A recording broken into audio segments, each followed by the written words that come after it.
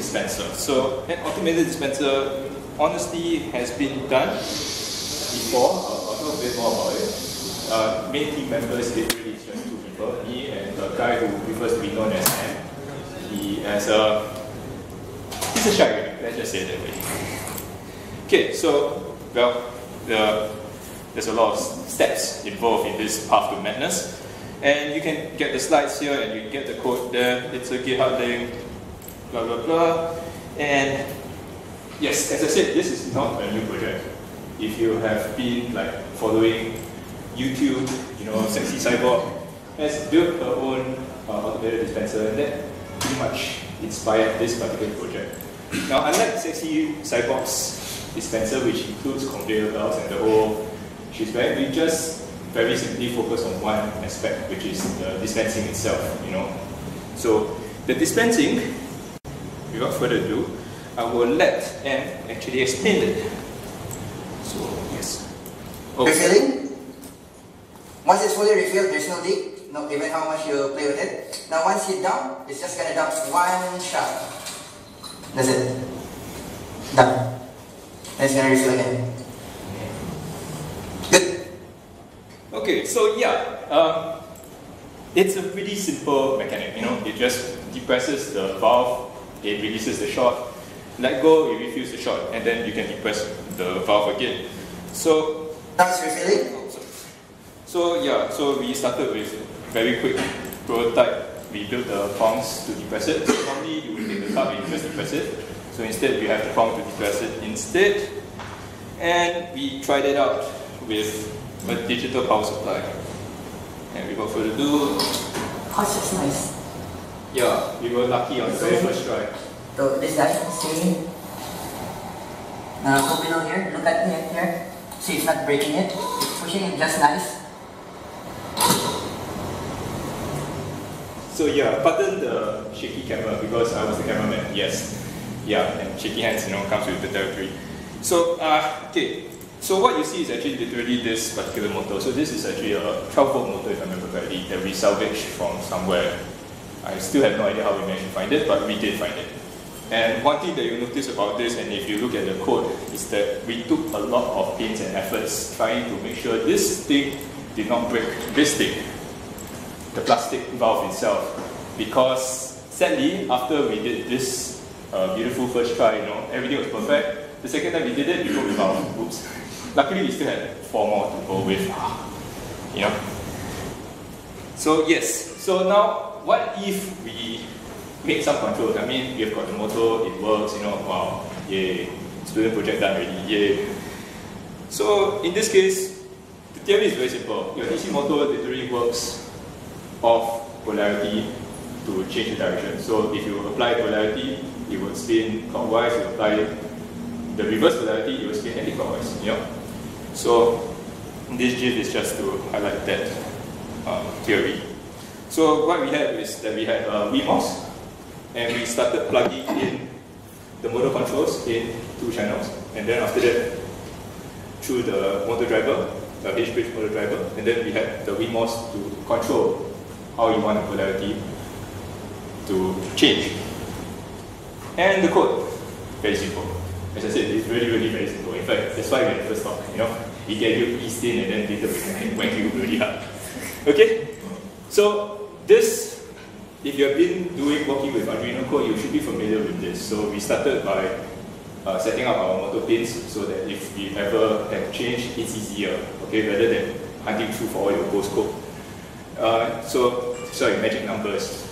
So the code is very simple. digitalWrite, digital right, apply high, low, then when you want to stop, low, low. So you, you kill the entire motion. Then you want to reverse direction, high, low. You know, reverse it, then you know, stop. So this was what we did for the very first prototype. And if you go into the GitHub page, you know, that link earlier, you'll notice that our code is a bit different. We started working with uh, what uh, if uh, loop. So what we did was that we actually slowed the motor down by making it move in micro steps. Because, yeah, we broke the valve. So that's where one of the differences between the code. So when you look at the code, you'll notice that it's different from what you see on the slides. Don't worry. hopefully you can figure out what the differences are. Okay? So, now, so that was our second step in our path of madness. We have actually made ourselves nice, good controls that work only if you know the magic code, right? You know, you run the code and then you trigger it. So how about if we make the trigger completely wireless, you know, by actually having it over HTTP, you know. So in short, if we can trigger it over the internet. And in this case, for LA, WeMos, beautiful thing is that it comes include it comes included with an ESP8266 Wi-Fi module. So 8266 Wi-Fi module means that it's Wi-Fi ready. Yeah. You know, don't need to go buy another shield on your extremely expensive Arduino board. It comes built in. So, how to uh, trigger and set up your Wi-Fi? Very simply, you need to include this, well, three libraries with a fourth library that we would recommend, but comes with a lot of headaches. So, the first three are what you need to actually set up the module itself. And the last one is what we call Arduino OTA, over the air. OTA stands for over the air.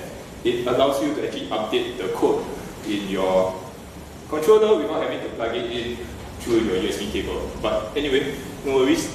Um, I'll provide some links as well to for those who are interested in digging further in at, at the end of the presentation. So initial code to get started, right, if you see that there's actually boilerplate code ready to copy and paste. Link right here, okay? Or you can just type out this entire long, long string, okay?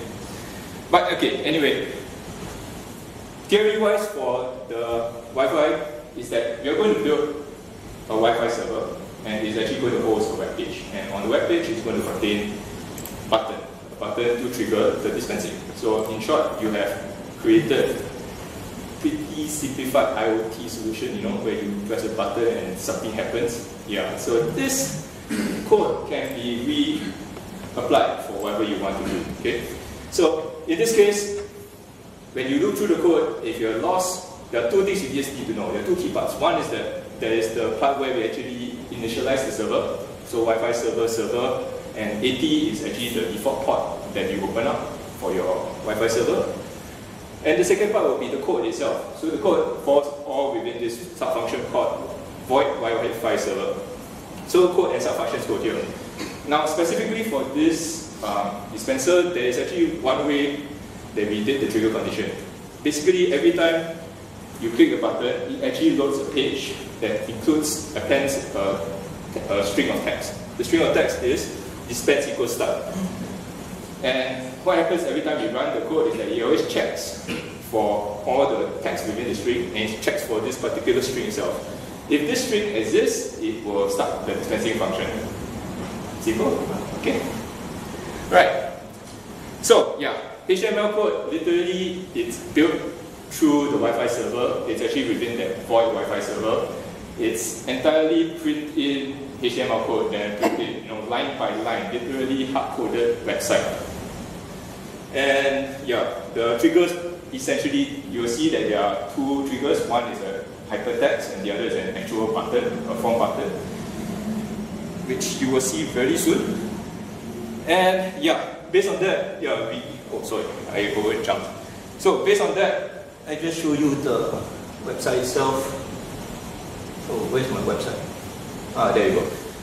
So, how do we get to this point? So, ah, oops, suddenly I lost my page. How do we get to this point? So first thing first is that I need to give it Wi-Fi. So if you go in, uh, our venue sponsors have given us a very beautiful password, wwguest, and do the hustle. Beautiful. Uh, so internet, and I created myself my hotspot. And with the hotspot, you'll notice that it's already connected. And in this case, this particular uh, connection, the network name and the password is within the Arduino code. That means it, there is actually, you'll see two initialized variables asking for what is the SSID and what is the password. Because when it tries to connect, it will need this. Again, this is all part of the initial code from earlier in the links. But yeah, I'm just explaining a bit because honestly, it gave me a lot of trouble trying to figure out what people were saying when they were writing it. And yeah, and from here you can see the IP address, and you can see this is the IP address. And hopefully this works this time around. So I'm just going to click the link.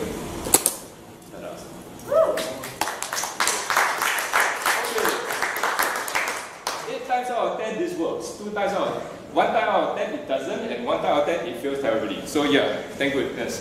Probability saved us. Okay, so this is our third step in our great uh, journey of madness. Now let's go one more step. So you've got a website, you know, and you can click buttons on it. Yeah, so you can build a website and all your IT applications on it. Okay? Let's go with voice. So number one thing, there are two ways you can do um, applets. There is IFTTT, if I remember correctly. No, if you click this, ah, can't remember. It's a very long string of text. Another way is that you could use Google Assistant. So this one is going to show you how you can do it through Google Assistant. So first thing first, uh, I'm giving you the reference itself. This is the creating shortcut commands. So what are we actually going to be doing? So yeah, specific, this is literally copied from the website.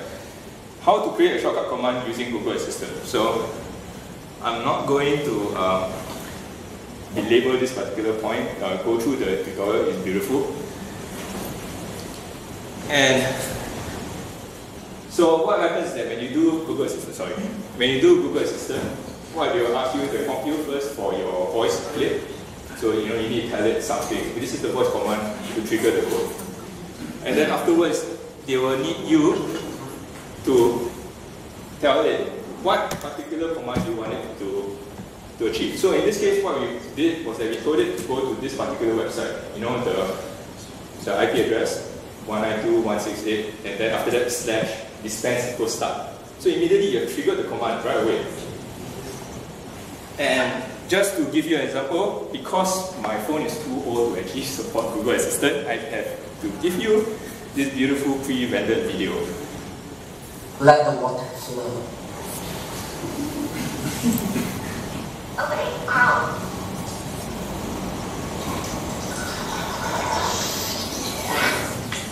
Right, right. So yes, now, yep, okay, so that literally marks the end of this particular part of madness. And for those who are really, really curious, there are actually a couple of links as well, including like, you know, getting started with Remorse, OTA, because that gave us a lot of trouble. And lastly, the full documentation as well, for those who really want to follow us through this rabbit hole. And with that, thank you very much.